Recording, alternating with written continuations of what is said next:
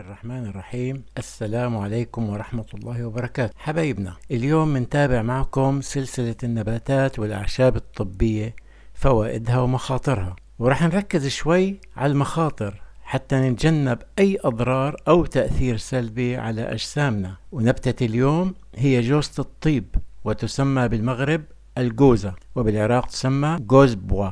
وجوزة الطيب هي ثمرة تنتجها شجرة دائمة الخضرة بتعيش في المناطق الاستوائية وخاصة في أندونيسيا وسيلان وما حولهما. وإنتاج الثمر يبدأ بعد سبع سنوات على الأقل من زراعة الأشجار وجوزة الطيب إلها فوائد كتيرة وفيها فيتامينات ومعادن ومركبات عضوية وزيوت ومن فوائدها المعروفة خفض ضغط الدم إزالة السموم من الجسم ومحاربة اللوكيميا وتعزيز الجهاز الهضمي وصحة المخ والحفاظ على صحة الفم لأنها بتقتل الجراثيم والبكتيريا اللي بتسبب رائحة الفم الكريهة وبتحارب الأرق والصلع وينتج منها العطور وتضاف كعطر للصابون والشامبو والكريمات وتستعمل كتوابل بالطبخ وتضاف إلى القهوة لإعطاء نكهة خاصة وتضاف إلى الخبز والصلصات وتتبيل اللحوم وتستعمل لطرد الرياح من المعدة وتدخل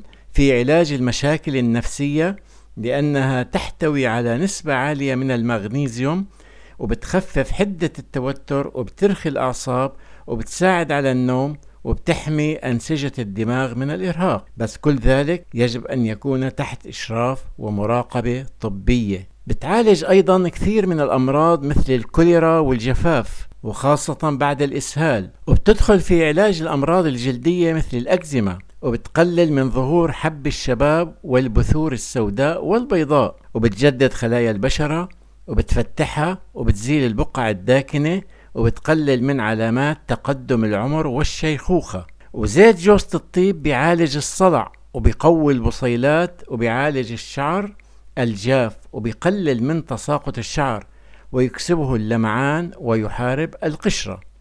وفي وصفات كتيرة ممكن نذكرها بالإجابة على الأسئلة أسفل الفيديو.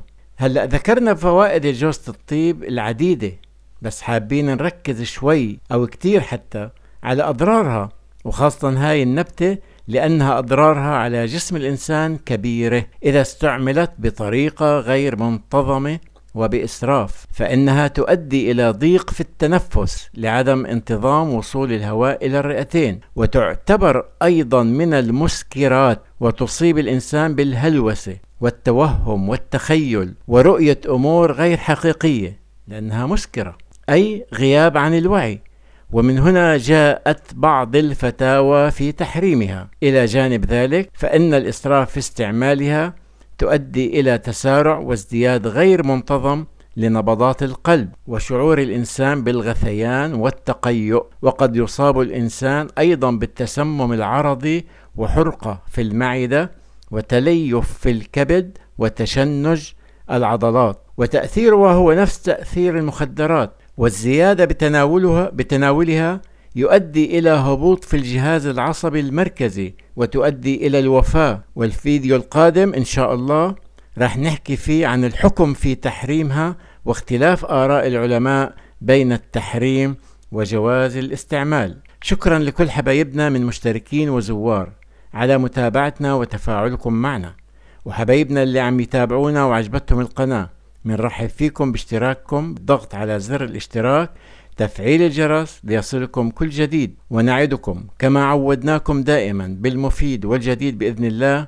والسلام عليكم ورحمة الله وبركاته.